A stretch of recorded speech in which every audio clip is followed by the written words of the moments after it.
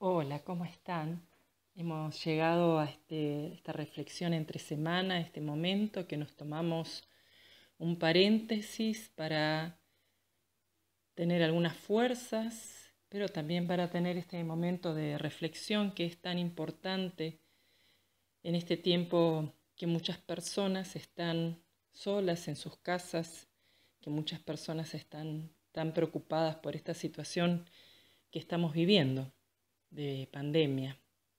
Quería compartir con ustedes el texto de la carta de Santiago en el capítulo 1, versículo del 2 al 4, que dice, Hermanos míos, siéntanse realmente dichosos cuando se vean rodeados de toda clase de pruebas, pues saben que la calidad probada de su fe produce paciencia pero la paciencia ha de culminar en una obra perfecta para que sean perfectos e íntegros sin que dejen nada que desear.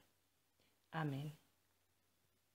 Y la verdad es que estamos viviendo un tiempo de prueba, un tiempo en donde tenemos que buscar la forma de salir adelante en medio de este problema del COVID-19, en medio de la pandemia, en medio de la cuarentena.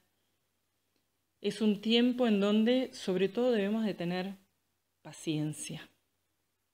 La paciencia es la marca de este tiempo, es el hilo conductor de este tiempo, y sé que hay muchas personas que ya están cansadas, que de repente ya tienen ganas de largar todo, incluso a mí me pasa a veces también, digo, ¿y esto?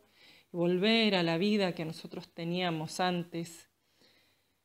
También sé que hay otros que se preguntan, ¿para qué seguimos? Si al final acá estamos bien en este lugar del mundo, no hay mayores contagios, como que el problema eh, pasa en otro lado. Sin embargo, no es tan así, porque este virus que nos está afectando a nivel mundial es justamente eso, muy contagioso. Y sabemos también que nuestro sistema de salud puede colapsar fácilmente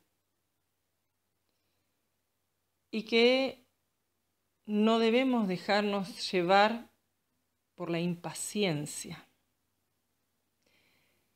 Santiago justamente habla acerca de la paciencia como un don. Dice, la paciencia ha de culminar en una obra perfecta para que sean perfectos e íntegros sin que dejen nada que desear.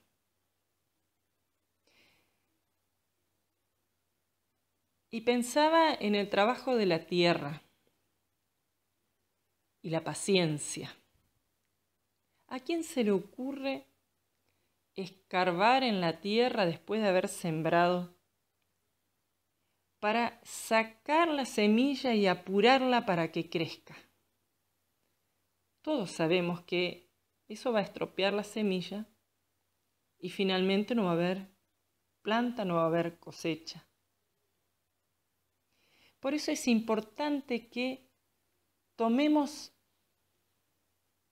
esa paciencia, aplicar esa paciencia del labrador, del campesino que trabaja la tierra y aplicarla en nuestras vidas en este tiempo, para que podamos de esa manera, esperando que este tiempo pase y que sea el tiempo que tenga que ser, buscando fortalecernos a través de la palabra, fortalecernos unos a otros así en la distancia, cada uno y cada una haciendo lo que debe hacer, que es tomar todos los cuidados y obedecer lo que nuestras autoridades nos están pidiendo, porque en definitiva son ellos quienes saben hasta qué punto puede la salud